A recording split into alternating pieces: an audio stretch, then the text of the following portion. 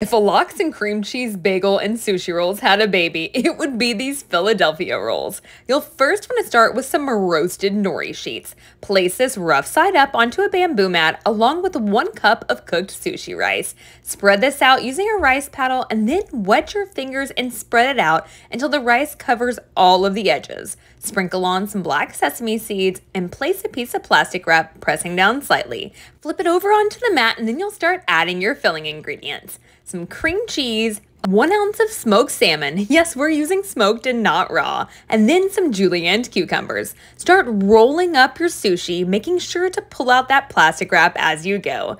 And once you've got it nice and tight, you'll uncover it, dip a knife into some water, and then start slicing it. And a quick tip, if your rice is falling apart while you do this, keep the plastic wrap on your roll and then slice away. But make sure you take off that plastic wrap before serving.